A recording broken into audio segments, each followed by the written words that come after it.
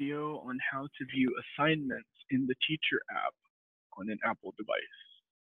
On the Courses tab, you'll tap on the name of the course that you want to look at. From there, you'll tap on the Assignments link for the course.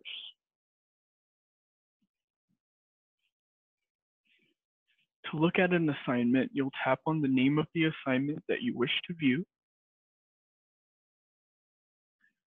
To edit the assignment, you'll tap the edit link at the top of the assignment page. To view submissions for the assignment, you'll tap on the submissions link.